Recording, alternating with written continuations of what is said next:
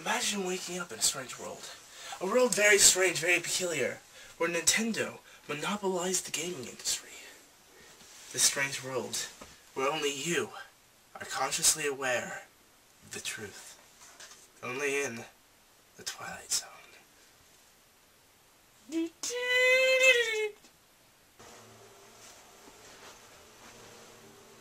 I love my new Wii tennis racket. Shaw. Wii baseball. I am the Wii mom. Pokemon! What are you guys doing? Playing the Nintendo Wii. The Wii? What about the PS3? What about the PS3? You know, from Sony. There's no such thing, Danny. Yes. Well, what about the Xbox? What about the Xbox? There's no such thing, silly boy. It's the Xbox. Uh, you mean the Nintendo Game Box? Or what?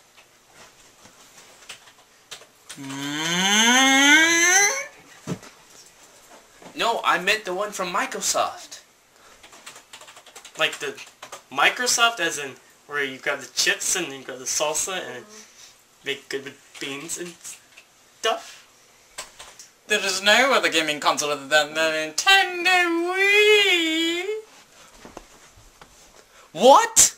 Only Nintendo Wii? That can't be right. Yes, Danny. Only the Nintendo. Well, oh, what about the Atari or the Sega Dreamcast? All pagan myths! There is only that's not true. I know they exist. You're not supposed to know these things, Danny. You're gonna have to be eliminated.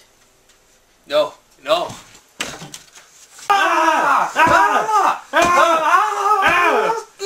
Wide legs! Ah! My pinky! I knew that from Vienna! Ah! Isn't